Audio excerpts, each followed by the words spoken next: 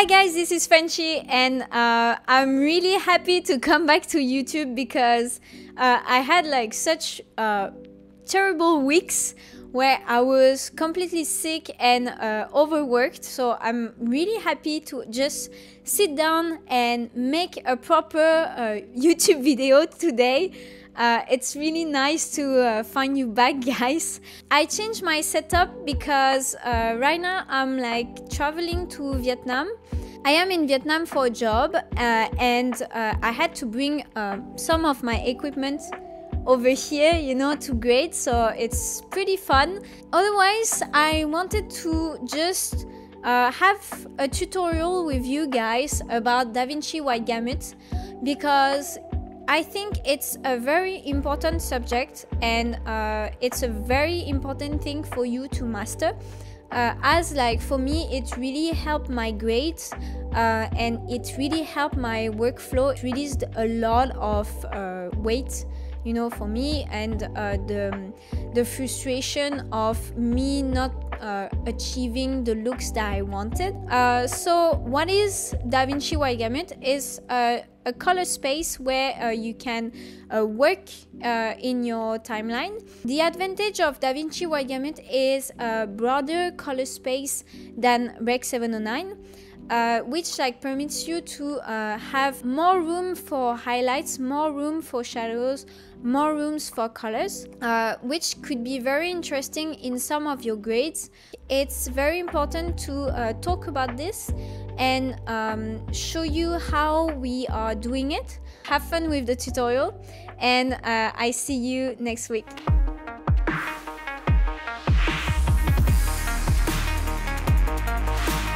Uh, so I wanted to make a tutorial for uh, DaVinci Wide Gamut because uh, a lot of you asked me to um, uh, just like show you my workflow with DaVinci Wide Gamut, uh, which is I think uh, very interesting because um, it's a color space that permits you to do a lot of things.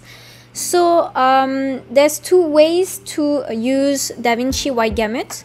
There's a way of project level and there's a way of CST. Um, so I'm going to show you the two methods uh, and uh, show you the method that I prefer. Uh, and we're to grade uh, together just a bit, you know, with DaVinci Wide Gamut. So, um, for the first method, the project level, you're to go to your wheel here uh, this is the project settings and go to your color management over here. To use normally DaVinci Wide Gamut, you're gonna go to DaVinci YRGB Color Manage. And uh, as we saw uh, on the video of uh, the beginner tips uh, color space transform, uh, I mean color management, um, we can uncheck the automatic color management and you're going to go to custom. So in custom, we're going to have like all the um, features that we can uh, use to have like the perfect uh, color manage workflow. What I want to do actually is uh, we're going to do a little test um, to see the advantage of DaVinci Gamut first. So um, I want you to do this test with me uh, we're going to just uh, put our input color space uh, to the camera uh, the, the project has been uh, shot on. So for this one, what I have right now, it's a ARRI log C3 and uh, timeline color space. Then I want for the test to show you, we're going to put it in Rec 709 Gamma 2.4 um, I can leave the SDR at 100 and we're going to put uh, the Rec 79 Gamma 2.4 for output color space. I hit save and I have a color manage workflow. We are in Rec 709 Gamma 2.4 uh, color space right now. What I explained in the intro of the video uh, with the graph is um, DaVinci Gamut has a broader color space than uh, Rec 709 because thanks to this we're gonna have more room to create our colors. To make this experience, we're gonna use color uh, space aware tools. Color space aware tools are the curves, the HDR wheels, the color warper, and the keying. Why we are not using, for example, the Lift Gamma Gain is just like because this tool is not color space aware and has been designed only like for uh, Rec 709. So uh, just to show you the effect actually of um, uh, Rec 709, a change between Rec 709 Gamma 2.4 to uh, uh, DaVinci Wide Gamut, um, it will be uh, more uh, impactful when I use color space aware uh, tool. Um, so you can really see the difference. So here I'm going to grab my curves and go to a clipping area which is like uh, yeah, something something like this. Uh, this is a bit clipping okay so now we are clipping in my highlights okay we are going to come back to um, our project settings, color management, and we're going to change the timeline color space to DaVinci Wide Gamut, DaVinci Wide Gamut, which is here. DaVinci Wide Gamut Intermediate. Uh, you're to see the timeline working luminance is to change uh, automatically to HDR uh, 1000. Uh, you can leave it like this. Uh, it doesn't affect anything or you can hit save and you're gonna see what happened in my graph is actually my clipping came down and uh, I'm not clipping in the highlights anymore. So for example, you know, I come back to my curve and I have more room actually to uh, bring up my image, to bring up uh, the luminance of my image. So this is how you set uh, DaVinci Gamut Intermediate uh, in your project level. So just to uh, see again together, we go from the camera color space, uh, ARRI LogC3 for me, um, to the timeline color space. So we want a broader color space to work uh, inside our timeline, which is DaVinci Wide Gamut Intermediate. And we want our output color space to um, match our display that like we are working on which is like the rec 709 gamma 2.4 for most of the display okay so um, when you set this you are ready actually to work in a DaVinci wide gamut um, color space this is the project level now we're gonna do uh, the node level which actually is my favorite uh, method because you have so much room actually to uh, handle your, your color space. So to do that, you're gonna go to DaVinci YRGB and you're gonna change your timeline color space to DaVinci Wide Gamut Intermediate and output color space we want a Rec 709 Gamma 2.4 okay so I hit save and my timeline is not color managed anymore. To color manage this, I'm going to just uh, put my node label. I'm just going to put in and out. So in, we're going to go to color space, transform in the effects, drop it in in. So same as what we were doing on the project level, our input color space would be um, uh, ARRI Wide Gamut 3 and ARRI LogC3 and uh, our output color space would be DaVinci Wide Gamut and DaVinci Intermediate. Okay, so we, we can leave everything like that. We go to out, take our color space transform, drop it, and put our input color space to uh, DaVinci Wide Gamut. take tac, tac. DaVinci Wide Gamut. DaVinci, DaVinci Intermediate. I, I am on my laptop, my PC laptop. I'm so sorry. It's like really hard to uh, handle everything because normally I'm, my big station is a Mac. So then I have like so much space. Here is my tiny PC laptop. So I'm, I'm sorry if I'm a bit slow.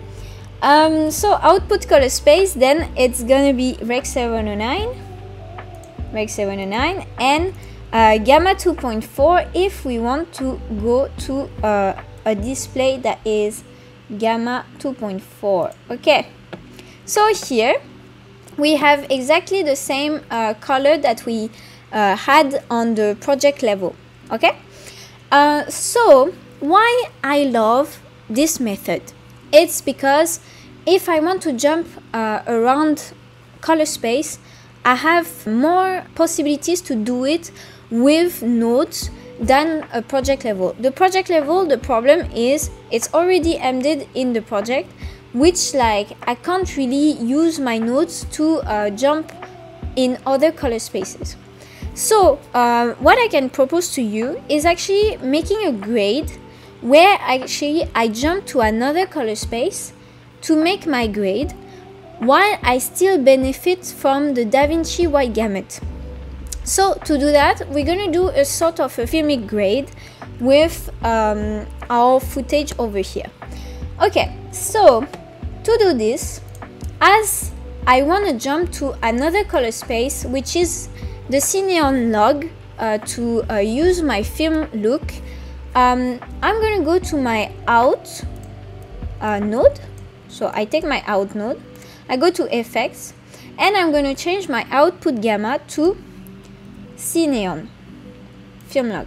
Okay so when I'm done that I can create a node here. We're gonna call that uh, film print emulation.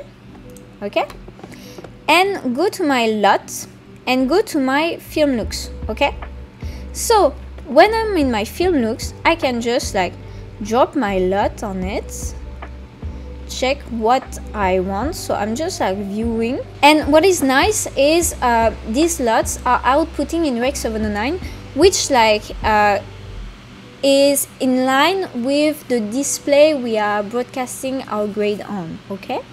So uh, I'm just gonna take you know the classic uh, Kodak 2383 D65 I just double click it add it okay? And to grade inside a DaVinci Wide Gamut color space in a node level, we're gonna grade in between the in and the out, okay? So, uh, I mean, I'm just gonna do what I do normally. So I create a parallel that is fed by the in, okay? So, I'm gonna do first my uh, LGG, okay? So uh, LGG I'm just gonna go a bit of less lift. So I'm just gonna raise my lift and uh, go down with my gain. Okay. Go down with my gamma a bit. And seems fine. And now I'm just gonna use the HDR wheels which is in this case very useful because uh, HDR wheels are uh, wheels that are color space aware which like will work very well with a DaVinci Wide Gamut uh, color space. So uh, I'm just going to go down in light because I find him very hot here. I'm just going to go down okay and uh, I think I'm fine with that. Yeah. I think I'm fine with that. And what we're gonna do uh, is I think I'm just gonna create a node after LGG so Alt S.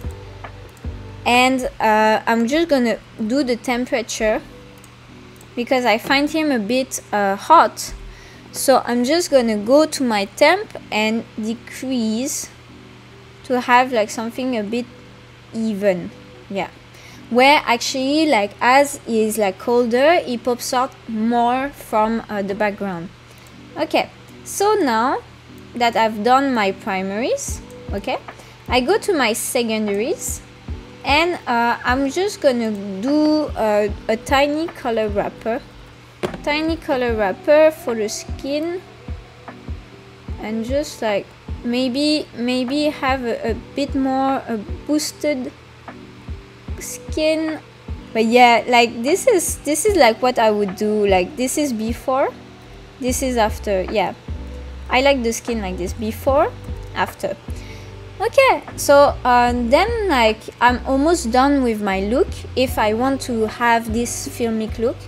Uh, what I can add is actually a vignette around uh, this guy so what I'm going to create is uh, I'm going to create this after my film LUT uh, after my FP uh, I'm just going to um, hit Alt S and create a vignette around him. So I don't want to raise him in the vignette. I don't want to put highlights in the vignette because I already uh, tamed down the highlights and I don't want it to come up and uh, make him so uh, so hot. So what I'm just to do is having like a vignette so a bit darker areas around him okay I'm just creating the power window here and I'm to hit this button that would like take everything around the vignette but nothing inside like this okay so then to have this effect we're just gonna go to editable splines. Uh, click on the edit editable splines and just have a gentle vignette. So this is very gentle this is what I like.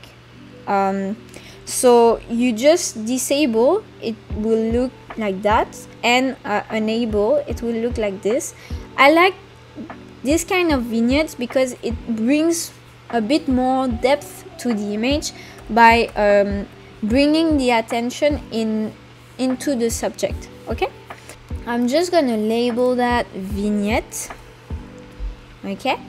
And uh, this is actually like how I would grade um, maybe uh, my filming grade, my film look, because uh, the advantage of DaVinci Wide Gamut is just like I have so much room uh, for my highlights and my shadows, which like uh, really help me to create uh, very unique looks.